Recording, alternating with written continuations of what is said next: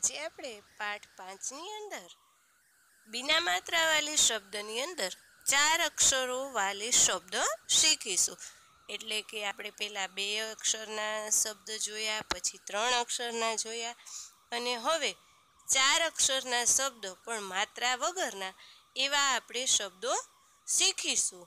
અક્ષરમાંથી શબ્દ બનાવશું, ત્યારબાદ શબ્દના અર્થ શીખીશું અને આવા શબ્દ જોડીને વાક્ય બનાવતા પણ શીખીશું. હવે આપણે ચાર અક્ષરો શીખીશું. એમાંથી શબ્દ બનાવશું.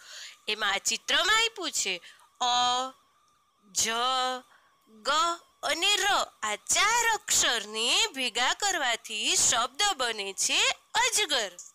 ત્યાર પછીનો અક્ષર છે, અ, દ, ર, ક. એ ચાર અક્ષરને મેળવવાથી શબ્દ બનશે અદરક. અદરક એટલે આદુ.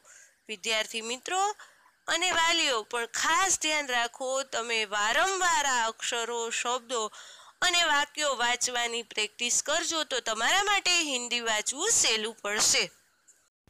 ત્યાર પછીના અક્ષર છે ઉ, પ, વ, ન. આ ચાર અક્ષરને ભેગા કરવાથી શબ્દ બને ઉપવન. ઉપવન એટલે બગીચો. તમે આવા અક્ષરો ભેગા કરી અને શબ્દ બનાવતા શીખજો.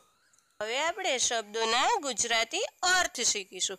બાળકો, તમે વારંવાર આ શબ્દો વાંચજો અને બોલજો તો જ તમને આ વસ્તુ યાદ રહેશે.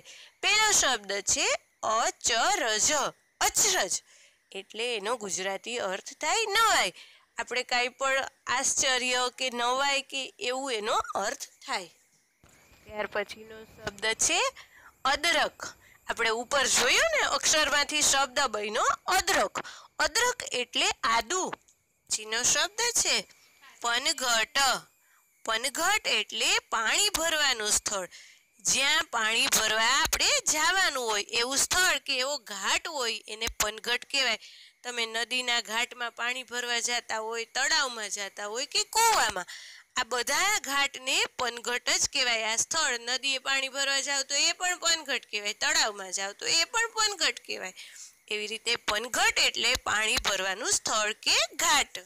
હવે પછીનો શબ્દ છે અચકન. અચકન એટલે પહેરણ.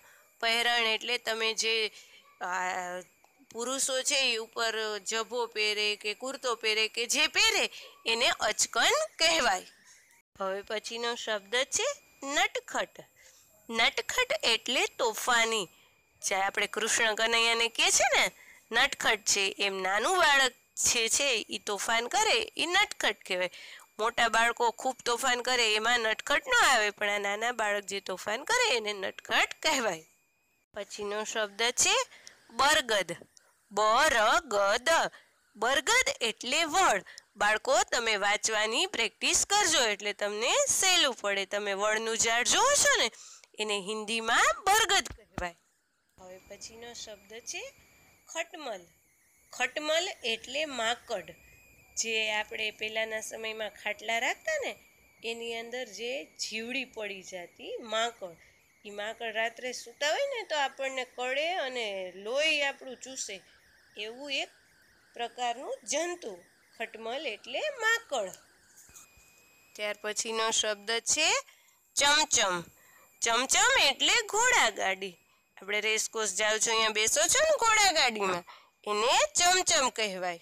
છેલ્લો શબ્દ છે કટહલ. કટહલ. કટહલ એટલે ફણસ. ફણસ એ એક પ્રકારનું શાક છે. આપણે અહીંયા ઓછું ખવાય ગુજરાતમાં, બીજા રાજ્યમાં ફણસનું શાક ખવાય છે. વિદ્યાર્થી મિત્રો, આ શબ્દોના અર્થ તમારે તમારી સી ડબલ્યુમાં લખવાના છે અને તમારી ચોપડીમાં જે શબ્દ લખેલા છે હિન્દીમાં, એની સામે ગુજરાતી અર્થ પણ લખવાના છે. નમસ્તે.